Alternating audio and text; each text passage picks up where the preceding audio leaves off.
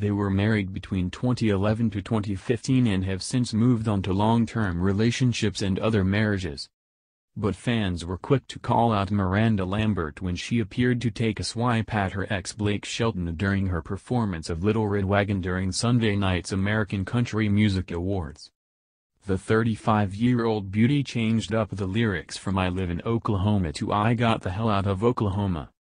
Miranda lived with Blake in the city of Oklahoma throughout their four-year marriage, before she moved back to Nashville, Tennessee and it wasn't long before fans were quick to pick out the shade, with mixed reviews.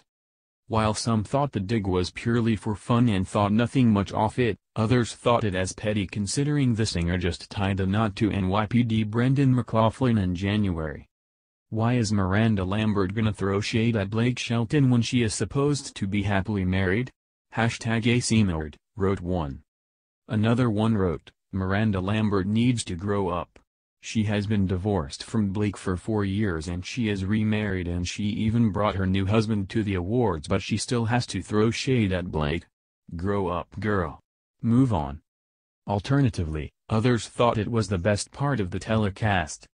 Miranda Lambert just sang Got the Hell Out of Oklahoma with Blake Shelton in the room and I have so, sick, much, sick, respect, sick, hashtag ACMAwards. Another wrote, when Miranda Lambert said I got the hell out of Oklahoma with Blake in the room. I felt that. I may have screamed a little. Sunday saw the automatic singer make her red carpet debut with her new husband since secretly tying the knot earlier in the year.